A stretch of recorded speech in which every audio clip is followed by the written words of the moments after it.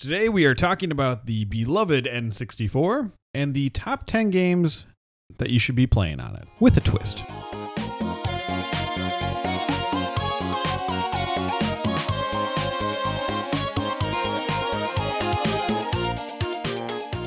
Welcome to Bits of Time, and today we are making a list of the N64 games. But there is a twist, like I said.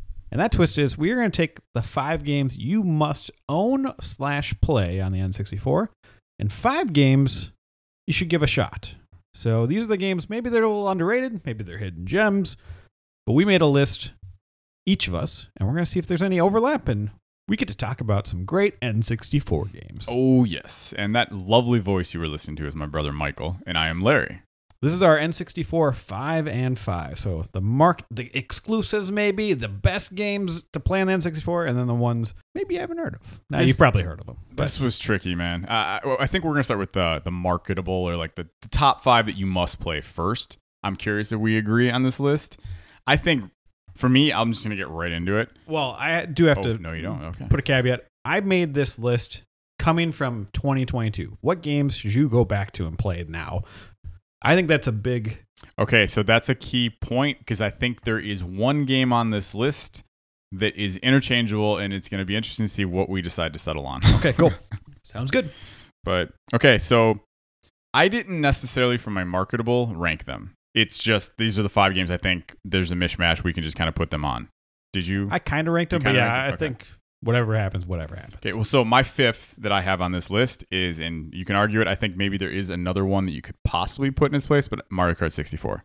oh, Yeah. Okay. I, I just think from so, and again, I like dabbling in lots of different genres, and I think this kind of hits that market where there's really not a better kart racer out there. Hmm, okay. Uh, for the N64. for the N64. I'm willing to say that maybe Diddy Kong is a possible. Okay, so I also have this on my list, but I have slash Diddy Kong Racing. And this is how I'm going to pitch it. If you are playing the N64 with a lot of people, play Mario Kart 64 because the battle mode and the courses, you are going to have so much fun. That is the best battle mode out of any Mario Kart. Even to this day, Mario Kart 8 Deluxe is awesome, but Mario Kart 64 has the best battle mode. Okay, so can, can we put a pin in this one though? Because I think based on what we do with the rest of the list, if I'm let's say trying to advertise these top five games to sell my system, I want to see what the rest of the games are because I think there might be a Mario heavy theme potentially.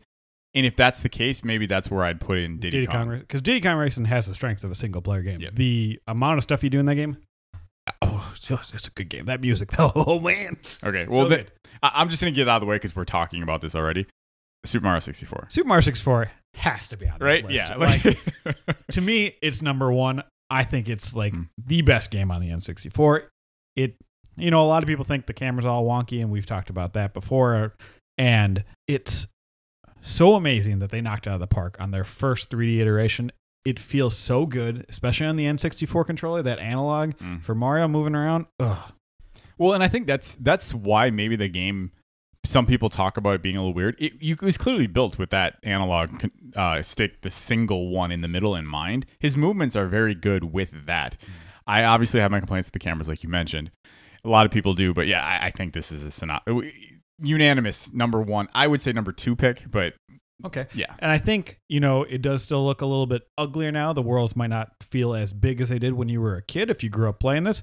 But man, it still feels just as good. and And, if this game doesn't exist, who knows where we're at with Mario Yeah, nowadays? exactly. And the variety of different levels in this game are so good. And the concept of just running around that castle, finding all the secrets, it is a top tier game and it has to be on this list. Okay, uh, let's have you jump in and say one. Okay. this one, oh, man, I had so many Okay, you can't go offshoot though. Like you, you look like you had the face of like, okay, I'm gonna try something that's a little out of. Well, that's it- the it- next five. It, kind of is. I had so many runner ups for this last spot, I guess, would mine be. And I finally came down to it. It's Mario Party 3. And Mario Party 3, everybody talks about one because you got the blisters on your hands from rotating that freaking mini games. yes, And I have I have reverse blisters because I burnt myself over Memorial Weekend.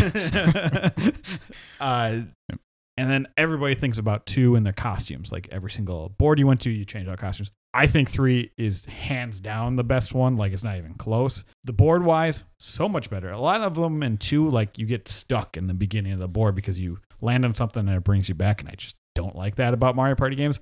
But three, you got Waluigi, which is always good. I think he was in two, but the boards in three are the best, and they have the reverse mushroom, which is like OP, and I Yeah. love that thing. So you just roll it, so the star pops up behind you. roll it, get another star the next turn. So he- he- here's my takeaway from this. So I kind of thought when I was looking at this list that you might add this. I feel like there needs to be an either or. Maybe there's enough room in your list. To me, the two that I had battling each other, and uh, Mario Party's not on my list, but I kind of Mm. thought you might, was Super Smash Brothers. Oh, And I was like, I feel like you have to advertise potentially one of those two. so if I'm thinking of this in a 22 lens, Ultimate exists. I know Super Mario Party or yeah, Super Mario Mario Party All Stars, Yeah. Superstars, whatever the frick it's called. the game that went on my list. Yeah. Uh, that has boards from three and has some things, but I think the charm of three still exists. Where Super Mar- Super Smash Brothers is pretty clunky nowadays on the N64. Agreed. Uh, yes. Doesn't have those like you know the charge attacks at all, and that feels very strange going back to. But I mean, you can still have a lot of fun with Mhm. Super, And Super again, Smash Brothers. And, so I think what's ended up happening here is like we have our lists. We'll have to come to a consensus probably for bits of time here. So it might get a little. So we have two now. That we got to go back and forth on. Okay, okay.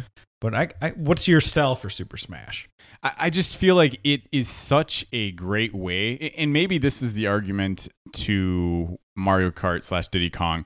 It's such a great way of advertising your entire roster, and it was like it's kind of it's fun to go back and see like basically what started this genre. Yeah. Like, and no other uh, competitors ever come close. Like Super Smash Brothers is the cream of the crop. Yes, they're better now, b- but again, you could argue that with a lot of the games on this list. It's just it's just these are their first iterations a lot of the time.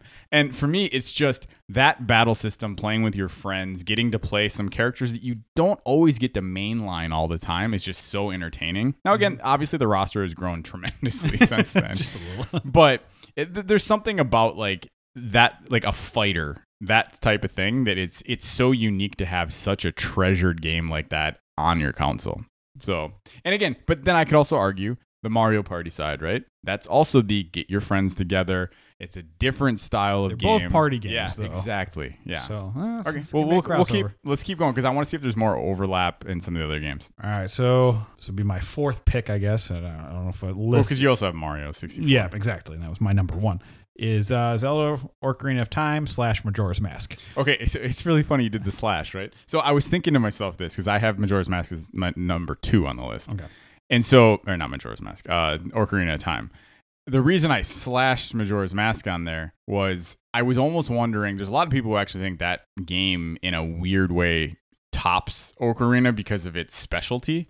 My thing is, I'm wondering if the time mechanic in that game, it's hard to advertise that. And it turns off a lot of people, Yeah. I would say. And so, uh, but again, we all know if you listen to season one, I'm not a Zelda fan, but I can also step back and look. I mean, Ocarina of Time is famous beyond words. Yeah, it's such yeah. a great game. Yeah, it's and it's just It would be almost dumb to have a top five list and not have uh, from N64 not have that one on. yeah, that's my thing. And I look at the port on the 3DS of Ocarina of Time is really good, and Majora's Mask one is pretty good overall. They do nerf the swimming mechanic when you're a Zora, so that's why I'm like, oh, maybe I lean towards Majora's because I like this one. But the Bomber Notebook in the 3DS version is better on uh, for Majora's Mask, so I don't really know. I could go both ways, and now you can play it on Switch Online, but you have to play a Zelda game, and I almost it's just kind of pick your preference on that one. Yeah. Okay, so I would lean then for us Mario 64, Super Mario 64, Legend of Zelda. Let's just say Ocarina of Time with the caveat Majora's Mask. Those two are absolutely on the list. Yeah, we're in agreement there. We're not going to fight over that one. All right. What's your last one then? This is, I think, the trickiest one for me on the entire list because this is in either or as well, and I think you probably already know what it is. To, uh, or maybe you don't. I can't decide Oh, what is the more marketable version, GoldenEye perfect. or Perfect Dark. And I have, I literally was l- thinking about it last night. I've had this list done for about a, a couple days now. I was thinking it again last night. Like, I can talk myself in and out of both of these. Mm-hmm. I would argue the music in the campaign in GoldenEye is better. I would agree. Yes. The multiplayer, the custom ability, probably the overall multiplayer fun you can have with your friends is perfected and better on Perfect uh, Dark. I don't know if I agree with that though. Really? I think the customization, yes. So you But- think the multiplayer is even? Some of the maps on GoldenEye. Yes, are no, I, I, would- I fantastic. would argue the maps are better, and I even say like I have a lot of memories with like the Game Shark cheek where you break through the wall. And, Yeah. like, even like marketing wise, attaching yourself to a Bond movie, I just think makes a lot of sense. And I think some people, when they hear the word GoldenEye, they probably think of the N64 versus the Yes, movie. I yeah, mean, exactly. it's such a staple to the time. Now, the reason it's not on my list is because I talked about going back in 2022. The control scheme is going to be very, very hard to relearn because modern shooters have changed so much, and going back to the single analog stick is going to be very hard. Yes, But we did go back to Perfect Dark, I don't know, a couple years ago for you and I, and it was harder, but we got to the point where we started getting good Yeah. at it. So if you had a bunch of people, like four, three buddies, two buddies, whatever, come over and try and play it, you could learn it again. yeah. And- I don't, I don't know. It's just it feels like to me, and I understand like the controls aren't fantastic anymore. But if you're going to talk about the N64 as a whole, it's hard not to have I one of those two. So I, that's where it didn't make my list because I'm looking at it from a control aspect of 2022. But I, I it was really hard not to put it on the list. So Okay. I had it on the list right before I think as of yesterday. okay. and then I put Mario Party 3 on there, and I'm rethinking that whole scenario again. So, So I guess then, just as we get closer here, I would say this: I would lean towards putting GoldenEye over Perfect Dark. okay, I, I think I am in agreement with you. And uh, again, I think I've seen this somewhere, but the menu music and just like the casual music in GoldenEye has no business being as good as it is. It's so good. Dun, dun. Oh, it's so good. Uh, so my last game on this list, uh, out of order, it doesn't matter, is Star Fox 64. This game still holds up. It is the best Star Fox game, hands down. And what it does well is replayability and doing different missions, kind of like in GoldenEye where you had different objectives. This one you have different objectives per level that take you to a different planet and a different route. And I, you know, it has multiplayer, which is we messed around with when we were kids, and it was fun. It's not the best multiplayer, but you know, add on multiplayer, you can't go wrong. So the the funny thing about this one is, I think out of principle, like I just hated the Star Fox experience you made me go through in season one. that, but again, I did even bring up how much I enjoyed Star Fox 64. This would be like six on my list of games here, oh. but I absolutely could see it jumping in and replacing. I mean, any one of them. It just depends on how many Mario games we have that are thrown in this list. So this is gonna be the tricky part. I'm willing to put a dagger down and say, obviously, we agreed Super Mario 64. We agreed Legend of Zelda. I really think GoldenEye should be on this list. Yeah, and I think the one you, well, yes, okay, let's do it would that. be nice to have a shooter just to recommend. Say, hey, the Yeah. 64 did have good shooters. and we even- have to have a racer because the N64 in general has really good racers, but it's Mario Kart. You think right? so? Or it's Diddy Kong. Uh, like it's one of those two. But, but that's what I'm saying. Like which one? I think it decides what are we keeping between So- Mario Party or Star Fox, and I right away I go Star Fox. okay. All right. So then I would say Mario Kart 64. What a banger list! I mean, think. Okay. So uh, I just, talk about advertising system. I'm speechless. I couldn't even get words out of my mouth there.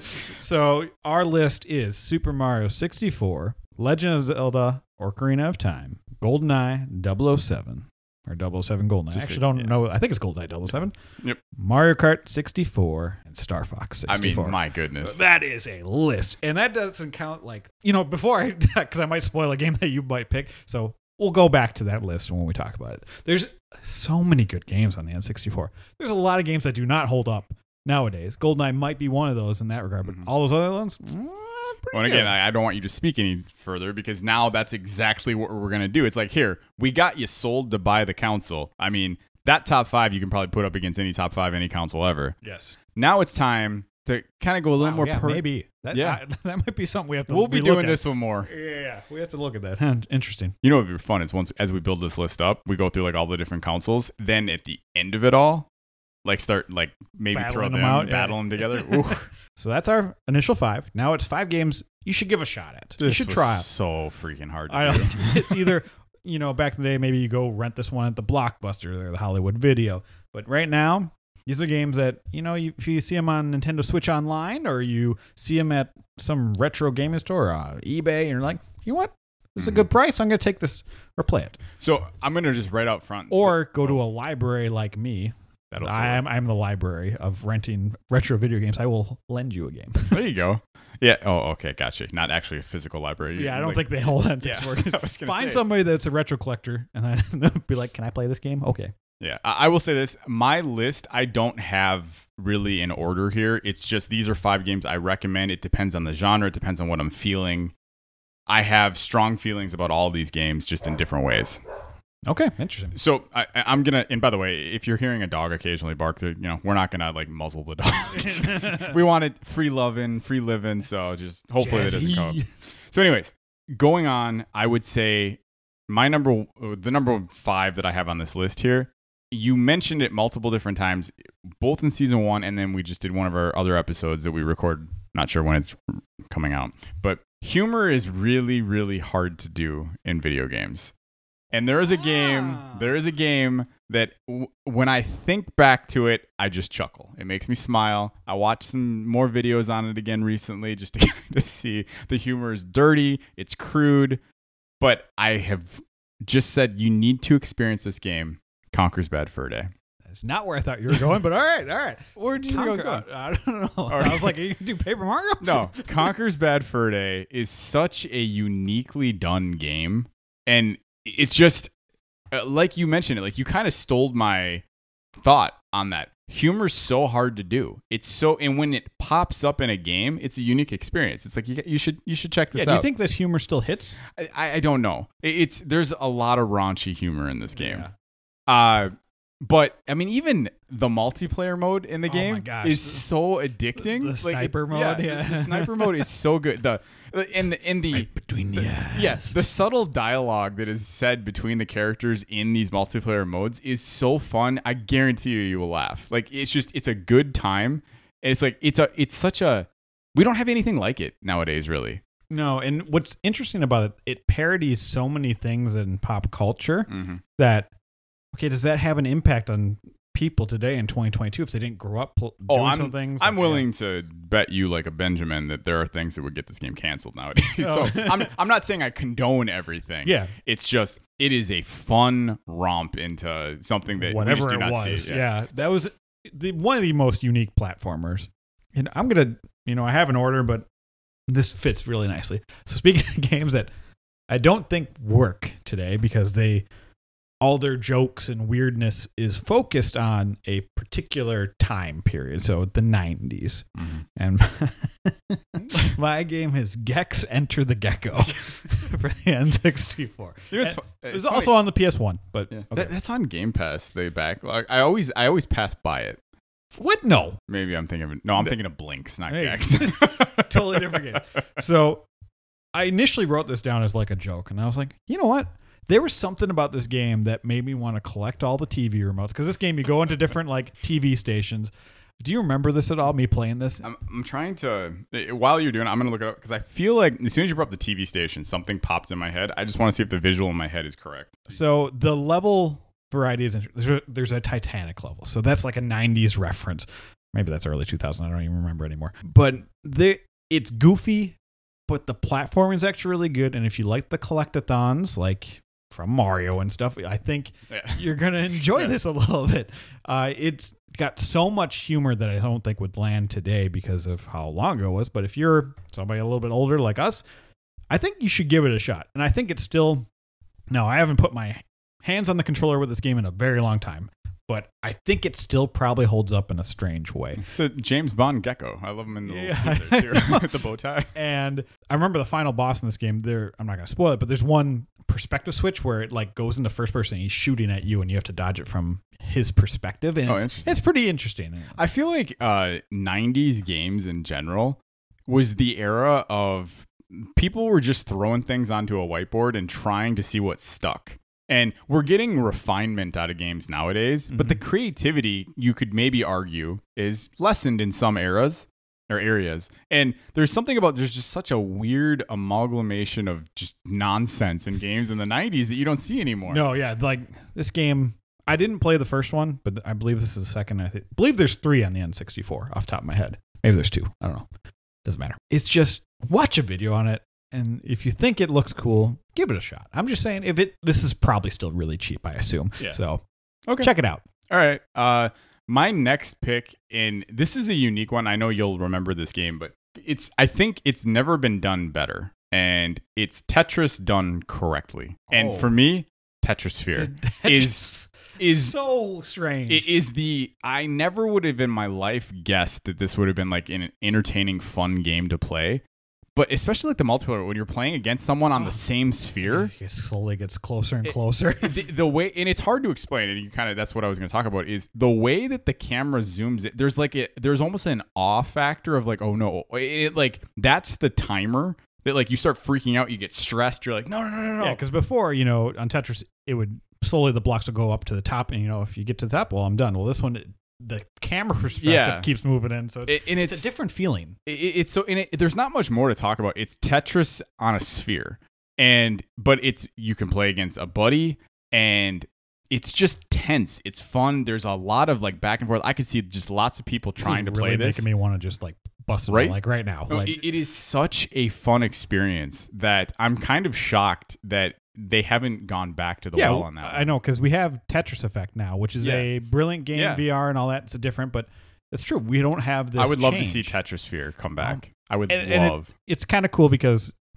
you get to pick your character. You never really see your character, but this little weird robot looking guy, and yeah. it's like this is cool. Like, yeah. and that is a game that, yeah, it doesn't it's probably really cheap. So if you're a collector out there, go for it. It's probably still cheap now, even video game prices are crazy right now. Yeah. So I have that in my collection, but find somebody play that game. You will have fun. I yeah. I just I recommend it. it's That's it's just a great fun pick. game. That's a great pick. Thank I you. forgot about that one. Thank you, thank you. well, that makes me happy. I, I snuck one in on you. All right, so my next recommendation for a game that you should try out is Battle Tanks.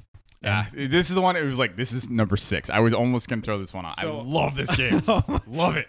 this game's multiplayer was so much fun, and the story concept is really freaking weird. So basically, the, the fertility rate of women dropped super hardcore, and so then the world went to apocalypse, and everybody is now fighting over QueenLords and trying to protect the women. So they're basically gone into tribalistic and blowing up people in tanks. It's super weird. You're going to rescue your girlfriend, I think, across the country, but the gameplay is super good. Yes. Like obviously they're gonna have a little bit of wonky controls because you're on the N64 controller, but it's hard, it's fun. The level variety is pretty good, and it's just tanks battling. I think Global Assault expanded the amount of tanks you had, and I can't. Hmm. I, I think Yeah, we spent you most did. of our time in one. we did, yeah, we definitely spent a lot more You time. on see either one, pick it up. You're gonna have a good time. Yeah. Plus, you get to pick your tanks change color with each tribe you do, and Yep. they have some weird comic book stills in the story. Like it's it's a game. You need to check it out. That would be yeah. That's it's just ah,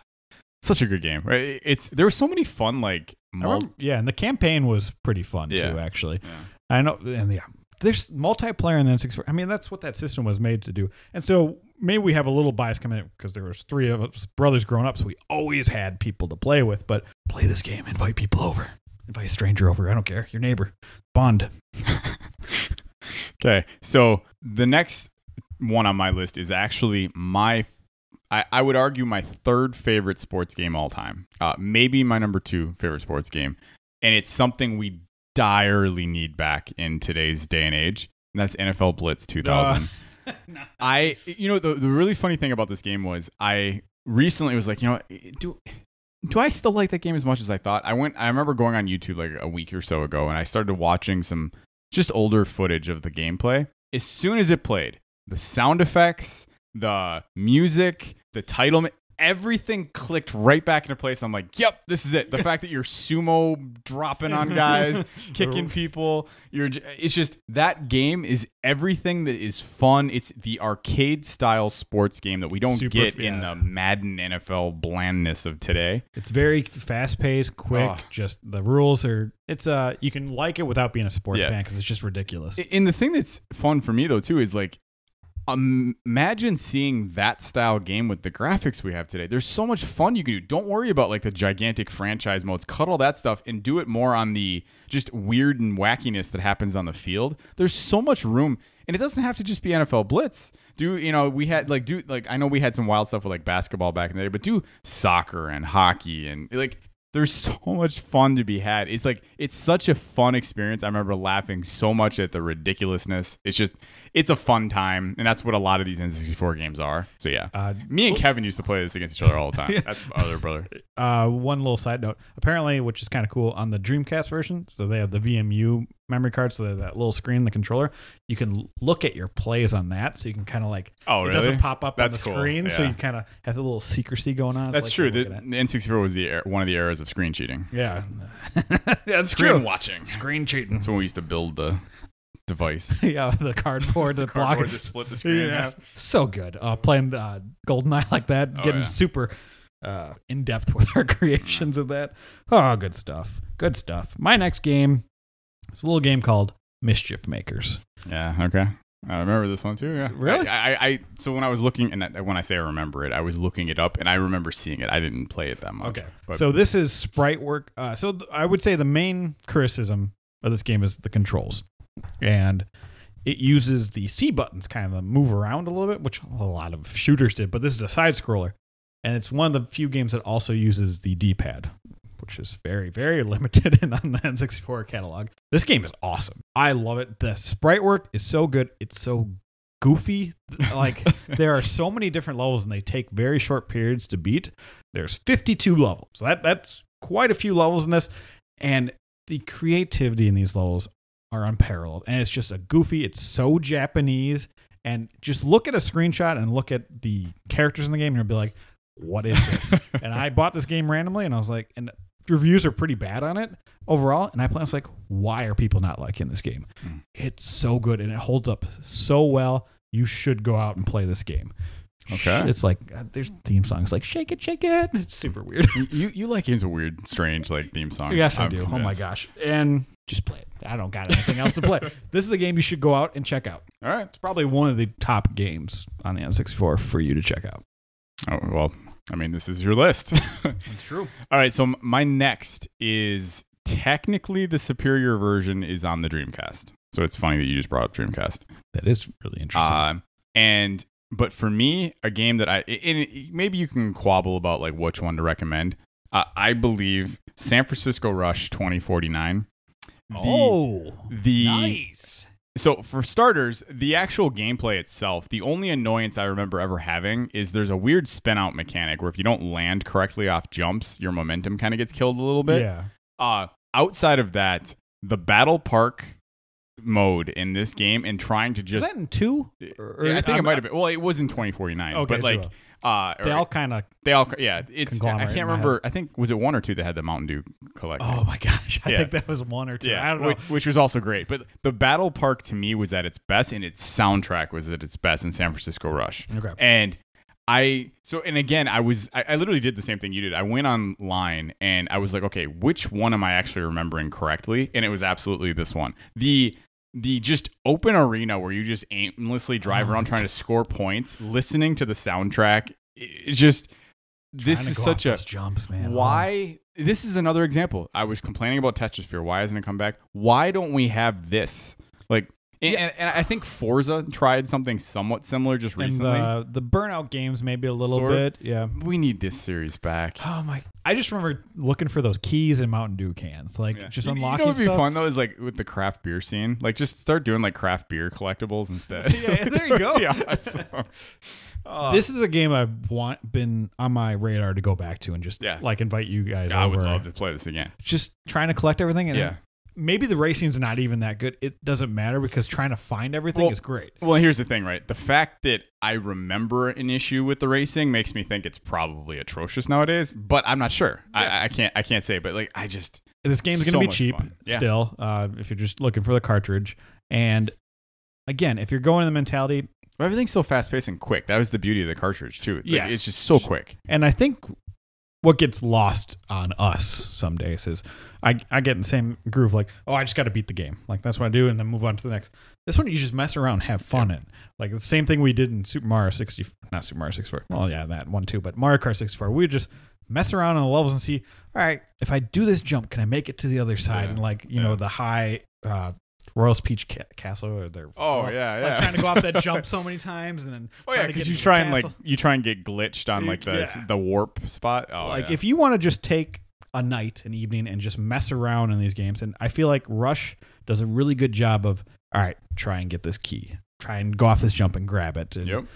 Well, there were so many have times I remember, and maybe it was in some of the other ones as well. You'd be doing the race, and you're like, "Okay, screw the race." I turn around to try and go, I got to collect that. How do I get that? Like, there's just there's something about those style of games, and I think as kids, just the innocence of being a kid and playing these games was so much fun. Nowadays, is like maybe we need a little bit of alcohol just to help out a little bit. But it's like just getting a couple buddies together and just playing these things. Or there, you know, you're gonna have nothing but a fun time playing it. But yeah, Correct. oh, that arena, just trying to collect and get the high scores and trying to like beat your friends. Oh, loved it. All right, so my second to last game on this list is Snowboard Kids 2. And I You have and- weren't you and our brother just talking about this game? Yeah, Yeah. we were, which is funny because he has no members of it. I was like, we played this at work. uh, I have more memories of one. It seems like two does basically everything a little bit better, more variety. I think you could go either way and be fine, but I'm gonna say two just because they have this weird walk around mechanic too uh, that you go. Uh, I think in some village or something. I don't. Okay. I don't even know if I, I might have played this game a little bit, but most of my memories are one. And I feel like the level variety in two changes up enough. I mean, you're eventually going to be snowboarding on grass and sand, just like in the first one. And the weird thing about this one is to do laps, you have to go to the end of the level and get into the lift and then go start over. So you're fighting to get into that small little section to get Yeah. into the lift. And you know it still has power ups. You so it's kind of like that Mario Kart theme, but this is a, another racer on the N64 that's definitely worth your time. I I feel like like the snowboard style games, like because there was like 1080 snowboarding. Yep. Uh, there was SSX, like the the Yeah, tricky PS2, series yep. and stuff like that. Like, I feel like there's a lot of those style games, but we don't see as much that are successful. Like I know Steep tried to be Yep. we of modern games, but we don't get a lot of that anymore. No, and obviously this one had to make enough money to make a sequel, so people bought enough. I think this is a very, very not, no, I don't want to use the word hidden gem, but you should play this game or find somebody who owns it and play some multiplayer. I think you're gonna have a good time with it. I've this is also another game that's on my list to revisit again. Yeah. Like so many games. Yeah. Okay. Well, then my final game on the list. if you heard that, that was our dog trying to come in the door. Now she's in here. Okay, yeah, she's like a velociraptor. Yeah. She jumps in. Well, that's very fitting, Mike. Oh, is it? It's gonna be Turok. Nice. dinosaur yeah uh so he- here's the thing with turok is i am a little leery on the fact that i'm wondering if the controls are a little quaky possibly Uh, they're not quakey, so uh, and when we say quakey, we mean Quake One that we Yeah. talked about in season one. I played the first game again, and it is hard to control a bit, but I got used to it. yeah pretty, okay pretty quickly. so the thing is is like the nostalgia factor for this series this like I, I still like when you're like collecting the triangles like i can just close my eyes and just hear the "er," like the sound effects in these games are so well done and it, it's one of the series i'm beyond shocked in today's day and age we don't have something like this yeah, like they did that uh, reboot remake thing Yeah. in 20, 2006 or something, Xbox Yeah. era, In- Xbox 360. Well, in Turok, just in general, is like it's one of those experiences. Like it's it's unique. Maybe there's a, an issue with like the main character and like some people having issues with it today. I don't know, but I just I I love those games. It was always the in a especially like in Dinosaur Hunter, like you have the din- you're hunting dinosaurs, but then there's like the gorillas and like just the randomness of the game is just there's always the factor of like okay what am i going to encounter next what's the surprise and it's a unique take instead of just shooting people it's it's just this a different style it's fun. You get to shoot people too. yeah, you do you do but it's like you get this variety That pistol sound is Yes. just stuck in my head. well and then and just like the the different upgrades the sounds the music just it's just when they when the guys die like that haunt, that weird noise Yeah. that they make i don't know it, it's such a unique game that it's like it's another and that was kind of a common theme with my list was we just have so many games like why are they now why are these series not coming back Yeah, we did. Who has the a- rights? Like a remaster of those games on Yeah. modern consoles.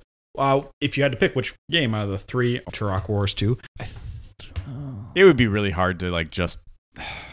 I mean, I think I'm probably most nostalgic about the first one. Oh, is it? Is you're it? wrong. 2 is the It answer. is two. the- I know you're, you're, you're throwing up the fingers on me. So Turok two is that probably the I feel like that one one has that Cerebral Bore the thing that eats the brain. Oh yeah, okay, all right. So I yeah, feel so like that's I, well, that's thought that, that's two. yeah, it is two. Okay, so then I'm completely misremembering then, which is not a shock.